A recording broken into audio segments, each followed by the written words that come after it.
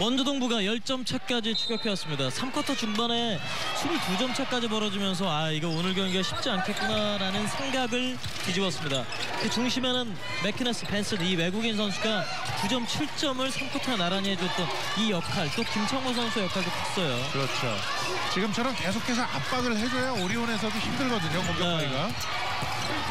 이승현입니다. 그리고 헤인즈 9점 성공. 하지만 헤인즈가 오리온에는 있습니다. 렌즈 선수 보면 살짝 쉬고 있다가 네. 정말 필요할 때는 또 아, 진짜 네, 힘을 내서 득점을 하는 그런 모습을 볼 수가 있거든요. 그러니까 소위 말해서 여기가 클러치 능력이 있다라든지 해결사라든지 이런 수식어가 참 잘 어울리는 선수 같고요. 그렇죠.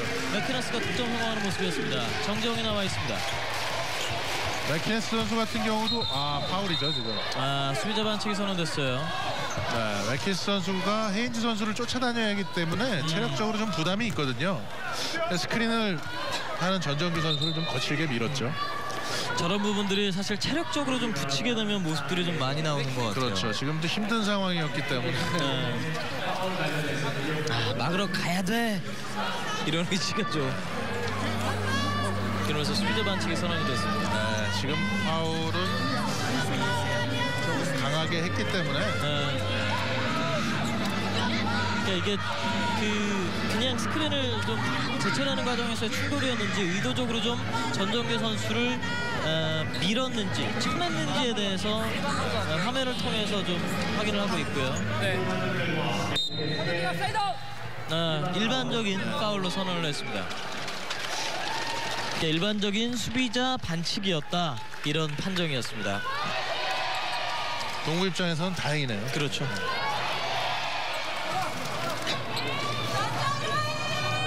맥키스 선수 이런 그 혹시 더 강한 파울이 나올 수도 있기 때문에 네. 그런 행동은 좀 할 필요가 없죠. 그렇죠. 이승현입니다. 헤인즈. 전정규. 달려 들어가다 뒤쪽 빼줬어요. 헤인즈에게 김주성이 쳐냈습니다. 몸을 날렸어요. 살려냅니다.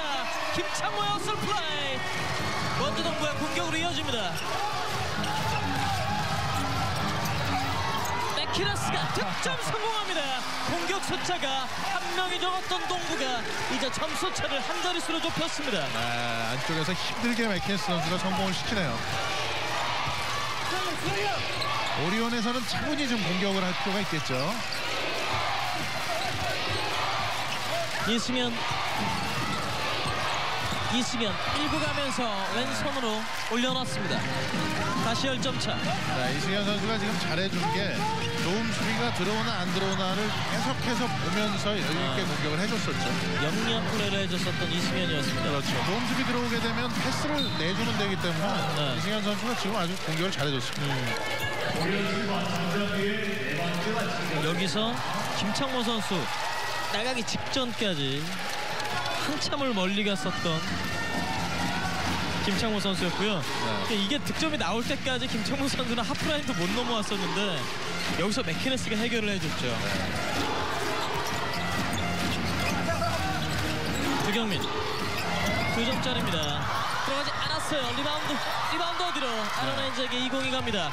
달리는 정재홍 헤인 애런 헤인즈가 직접 치고 들어가면서 파울을 이끌어냅니다. two shot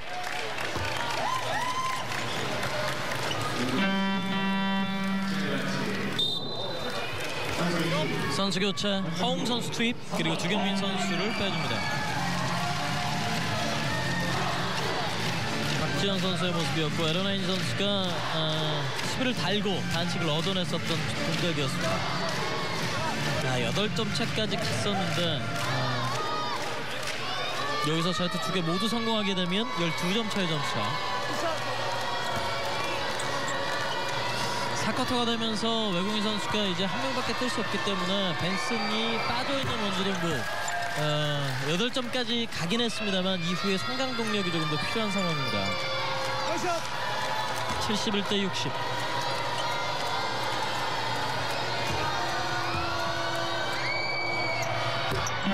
두개 모두 성공합니다. 선수 교체입니다. 서민수 선수를 투입하고 김창모 선수를 쉬게 해주는군요.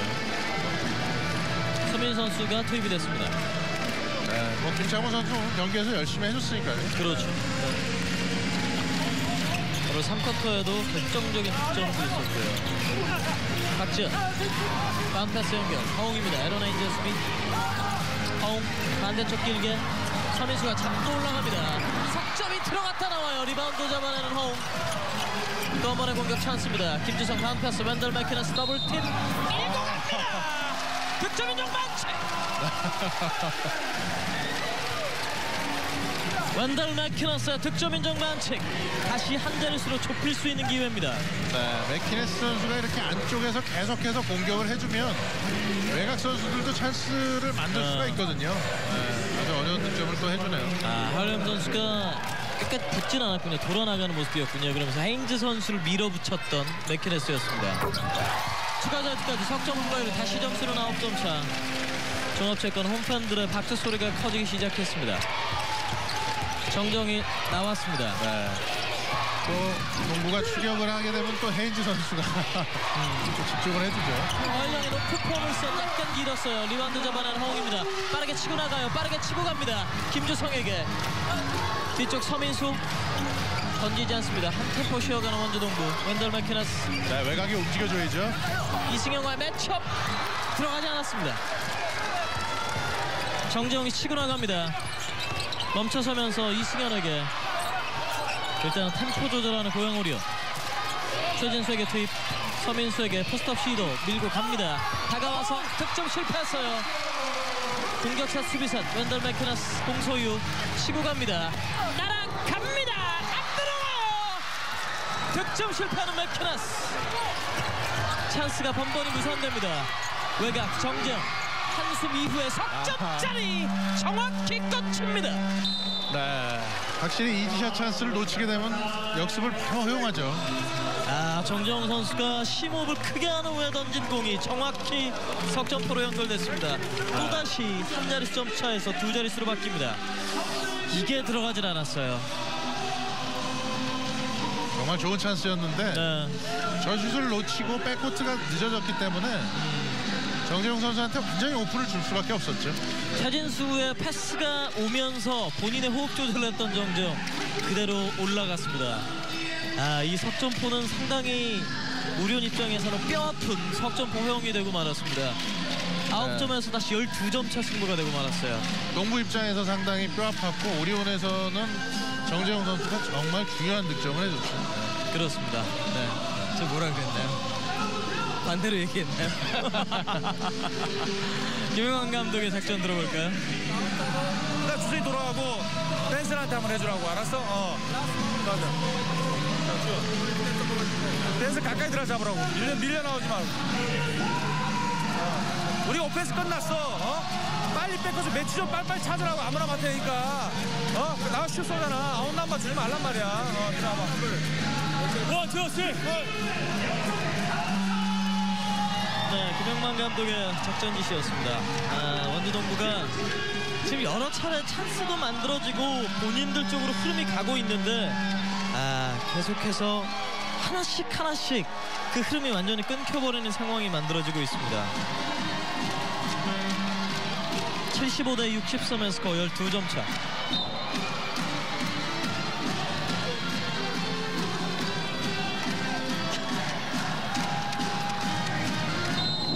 오리온이 12점을 앞서고 있습니다. 원주동부의 공격 허웅입니다. 박지현입니다. 벤슨 외곽에서 잡았어요. 다시 박지현. 아, 서민수 쪽으로 좀 줘도 될 텐데요. 박지현 허웅 서민수까지 오른쪽 코너 열렸어요. 석점이 약간 길었습니다. 공격 리바운드 김주성. 박지현 내주지 않았습니다.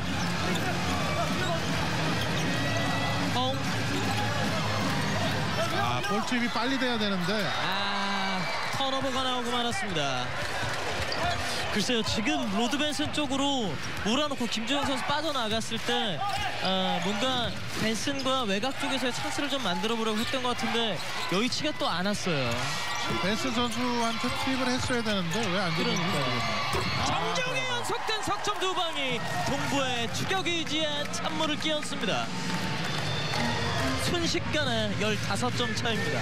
턴오버 때문에 뭘 해보지도 못하고 동부에서는 계속해서 실점을 하고 있죠. 허웅 오펜스 파울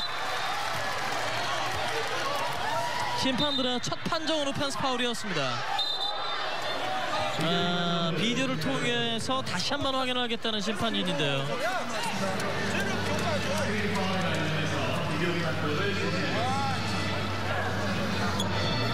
벤슨 선수가 손으로 좀민 것 같다는 제스처였던 것 같은데 이 장면에서의 오펜스 파울 지적이었습니다.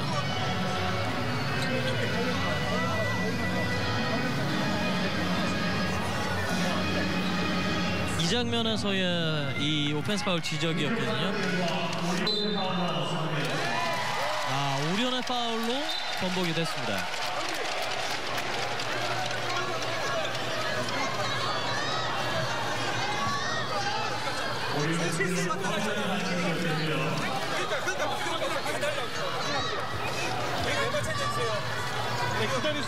아, 그리고 김영만 감독도 뭔가 좀 항의를 하는 모습인데. 아, 그러면서 이러면서 이 던진 허웅 선수의 슛이 들어간 부분에 대한 항의인가요? 네, 쏘기 전에 일어난 상황이기 때문에 아마 지금 심판이 정하는 게 상당히 정확할 겁니다. 음, 제가 보기에도 접촉 이후에 슛이 일어났기 때문에 예, 그걸 인정받기는 쉽지 않죠. 네. 78대 63입니다. 그리고 뒤지고 있는 원주동부의 공격. 여기서 파울이었고 이후네요. 네. 두경민. 맥키네스 더블팀 반대쪽 길게 김주성 허웅까지 허웅이 던집니다. 그리고 허웅이 성공합니다. 네, 지금처럼 찬스가 아닐 때는 김주성 선수처럼 바로 옆으로 줘야지 그렇죠. 찬스를 만들 네. 수가 있죠. 지금 같은 흐름과 아, 리듬을 우리는 아니, 동부에서는 잃지 말아야겠어요. 레이업 정정이 들어와서 잘해주고 있습니다. 또다시 득점.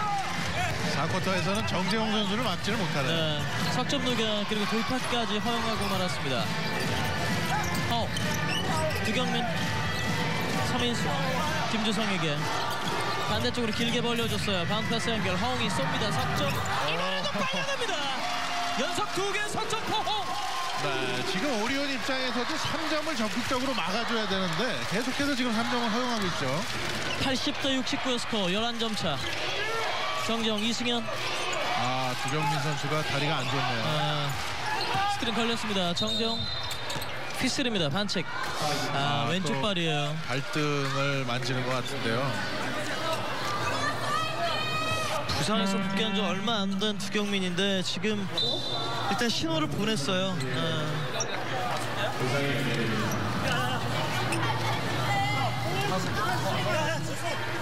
어, 내가 밟았어? 밟았어? 밟은 거야? 아하 큰일인데요. 여기서 발목 통증을 굉장히 느꼈고 그 전부터 사실 큰 통증을 느꼈는데 두경민 선수가 계속 앓는 소리를 내고 있습니다. 아, 통증이 네. 좀 심한 것 같아요. 지금 발을 밟거나 그런 모습은 안 나오고요. 발등이 부상 부위가 또 다친 게 아닌가 네. 생각도 되네요. 이게 발을 아까 내딛는 과정에서 살짝 살짝입니다만 에, 통증이 좀 들어가는 듯한 모습이 있었거든요.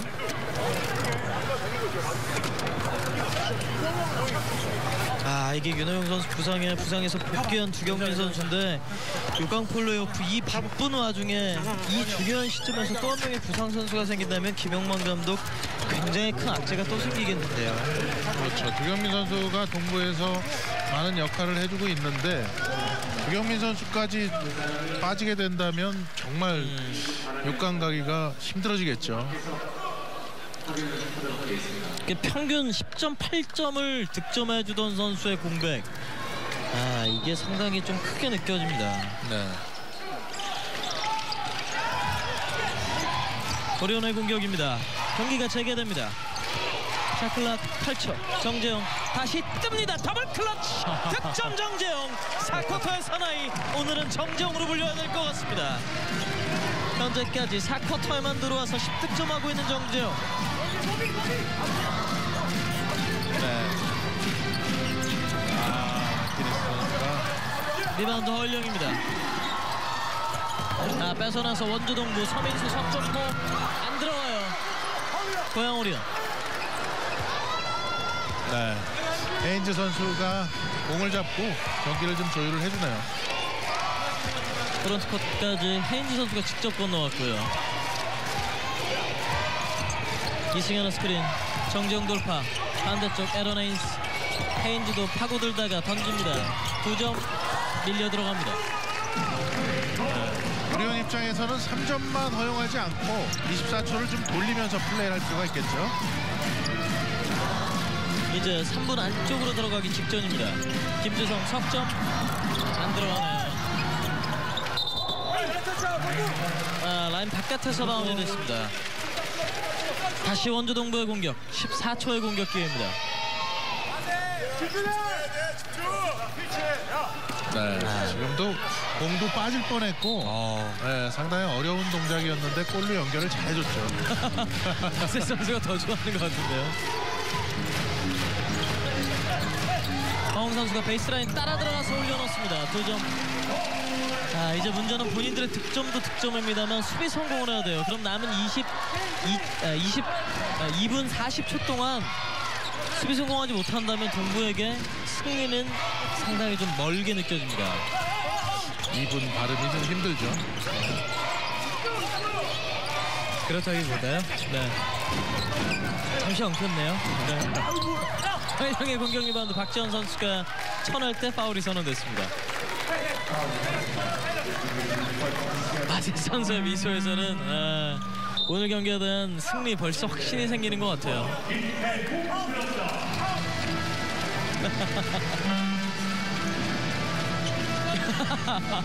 벤치에서 참 여러 모습 많이 보여주네요. 유쾌한 고양 우리원의 벤치 그리고 바세 선수였습니다. 지금 어, 원주동부가 8점 혹은 9점까지 따라갔다가 정재홍 선수가 계속 활약해주면서 결국은 다시 두 자릿수 점 차로 좀 단단하게 격차가 만들어졌습니다. 다시 반칙 이제는 팀 파울 상황입니다. 자유투가 주어지겠고 원주동부에서 작전 시간을 요청합니다. 네, 분전하고 있는 원주동부 그러나 84대 71의 스코어로 고양 오리온에게 여전히 10석점 뒤지고 있고요. 점수 차만 보더라도 지금 4쿼터가 아직 2분 17초나 남아있는데 84점이나 내줬다는 건 수비에서 확실히 문제를 짚고 넘어가야 될 것 같은데요. 그렇죠. 또 후반에 정재용 선수한테 10점. 또 중요한 순간에 헤인즈 선수가 지금도 보면 팀 파울 상황이었기 때문에 들어가면서 파울을 유도하는 그런 공격을 영리하게 잘해주고 있는데 네. 반대로 동부 입장에서는 정말 수비가 좀 무너지지 않았나 이렇게 생각합니다. 아 그렇습니다. 아, 원주 동부에서 상당히 좀 어려운 상황인데 아, 6강 경쟁이 정말 치열한 이 시점입니다. 아, 지금 5와 5위, 6위, 7위 이 세 팀의 3월 성적이 나오고 있는데요. 원주동부는 3월에 봄은 찾아왔는데 승리는 안 찾아오고 있어요. 지금 4패, 전자랜드는 3승 3패, 창원 LG도 4승 2패. 특히나 창원 LG는 최근 이 기세가 무섭거든요. 지난 전자랜드와의 경기에서도 LG가 승리 거두면서 이게 6강 싸움에 어떻게 보면 이 세 팀 제외하고 다른 팀 팬분들은 더 재밌어졌다 이렇게 느끼실 것 같아요. 그렇죠. 동부가 상당히 유리한 상황이었는데 이렇게 되면 사실 동부가 올라간다는 보장을 못 하거든요. 그럼요. 아, 오늘 경기로 지금 원주 동부가 상당히 어려워진 시점이 될 수도 있을 것 같습니다. 오늘 경기 끝나고 나면 이 전자랜드와 에, 격차가 반 게임 차 똑같아지게 돼요. 네. 네 경기가 남았는데 지금 두경민 선수의 부상이 어떨지가 그렇죠. 동부에서는 상당히 중요할 것 같죠. 오늘 김창모 선수 이 헛슬 플레이 때까지만 해도 원주 동부에게는 충분히 많은 시간이 남아 있겠구나 기회가 있겠구나 생각을 했습니다만 그 이후에는 좀 어, 흐름이 끊기는 모습이었던 것 같고 이렇게 되면 창원 LG와 어, 원주동부 인천전자랜드 그러니까 공동 5위가 오늘 경기 원주동부가 패하면 될 텐데 이렇게 되면 공동 5위 팀과 7위 창원 LG와의 승차가 딱 한 게임 차예요. 특히나 원주동부는 전자랜드 그리고 창원 LG의 경기가 이번 주 다음 주에 이어서 있습니다. 수비자 반칙이 선언됐습니다. 고양 오리온 팀 파울에 하나 여유가 있었습니다.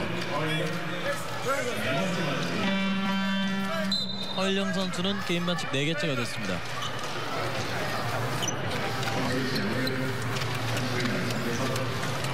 자, 에런에인 선수를 빼주고 장재석 선수를 투입하는데 이렇게 되면 국내 선수 5명으로 원주동부를 상대하게 되는 고양 오리온입니다.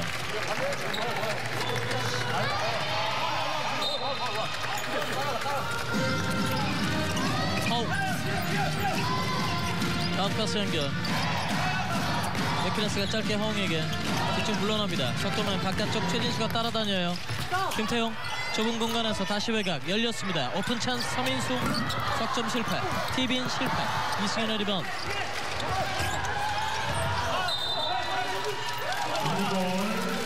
다시 원주동부의 볼이 선언이 됐습니다. 맞아 맞아 아, 이제 1분 47초 원주동부는 패색이 점점 짙어가고 있어요. 이제 오리온은 외국인 선수 두 명 모두 어, 벤치로 불러들인 상황입니다. 베키나스 장대석이 수비합니다. 수비자 반칙. 아, 팀파울 상황인데요. 이렇게 되면 자유투가 곧바로 주어지겠습니다. 3점만 안 맞으면 되기 때문에 어. 뭐 장재석 선수가 적절하게 파울하면서 수비하는 것도 괜찮을 것 같네요. 86대 71. 아, 자유투까지도 림을 외면하네요. 오늘 원주동부가 2, 4, 2쿼터, 3쿼터에 턴오버가 좀 많이 나왔습니다만 아, 4쿼터까지 현재까지는 턴오버 10개로 지금 아, 기록되고 있는 상황이 되겠고요. 두 개 모두 실패하고 말았습니다. 장대석에게 한 번에 연결됩니다. 그리고 득점까지. 어, 이제 거의 90점을 바라보게 되는 고양 오리온입니다. 참 이렇게 보면 고양 오리온도 에, 김동욱 선수가 빠져 있음에도 불구하고 팀 구성이 굉장히 좋네요. 지금 네. 국내 선수로만 구성이 되어 있는데 에, 크게 밀린다는 느낌을 안 주고 있는 선수 라인업인 것 같습니다. 그렇죠. 어떤 선수가 교체해서 들어오더라도 네, 공백을 전혀 느낄 수가 없거든요. 오리온이 그만큼 선수들도 탄탄하고 네. 예, 안정적인 전력을 갖춘 팀이죠. 장대석에게 투입해봤습니다만 연결되지 않았고요. 서민수입니다. 석점 시도 안 들어갑니다. 리바운드 잡아내는 이승현. 이제 40여 초 남았습니다. 오늘 경기 고양 오리온의 승리로 아무래도 귀결될 것 같은데요. 오늘 오리온 같은 경우는 지금 어, 출전한 선수 거의 대부분이 득점 올리는 모습이었고요. 두 자릿수 득점도 4명의 선수 에런 헤인즈, 이승현, 바셋, 정재홍 선수가 기록을 했고 어, 지금은 반칙이 선언됐습니다. 네, 리바운드 상황. 과정에서 허웅 선수가 네. 팔을 살짝 잡았죠. 특히나 오늘 원주동부가 4쿼터에 추격의 이 바람이 거셀 때 정재홍 선수의 10득점이 몰아서 나왔잖아요. 그렇죠. 사실 추격하는 과정에서 정재영 선수의 3점이 상당히 그렇죠. 예, 많이 도움을 됐죠. 연속 두 개의 석점 그리고 돌파까지. 어, 오늘 김주성 선수는 2득점이에요. 26이라는 숫자에서 한 2밖에 줄이지 못했습니다. 그러면서 이제 통산 만득점까지는 20넉점이 남아있고 에러네인즈 바셋 선수는 이미 뭐 퇴근 준비를 하고 있는 것 같습니다. 자, 들고 성공하는 장재석. 어, 이제 90점을 향해서 마이너스 1점입니다.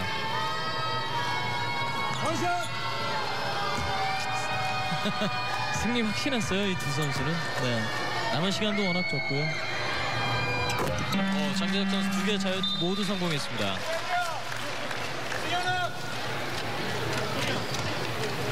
선수 교체 헐령 선수까지 또 이승현 선수까지 빼주면서 김진유 선수 전정규 선수를 투입하고 있습니다.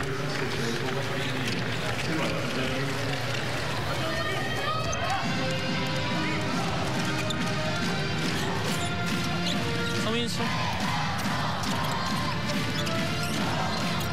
바운드 패스 연결 맥키네스 공 다시 잡았어요 중거리 슛 들어가지 않았습니다 고양 오리온 shot clock 꺼졌습니다 이제 공격 의사를 표시할지 일단은 뒤쪽으로 물러나는 정재홍 선수입니다 아무래도 오늘 경기 이렇게 마무리될 것 같습니다. 최종 스코어 90대 71.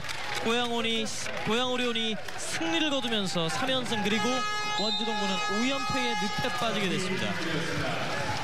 자, 오늘 오리온에서는 역시 뭐 기대했던 이승현 선수 또 에런 헤인즈 선수가 상당히 많은 득점을 해줬고 또 4쿼터 중요할 때는 정재홍 선수가 나오면서 자기 역할을 잘 해줬기 때문에 네. 오늘 승리를 가져갈 수가 있었네요. 그렇습니다.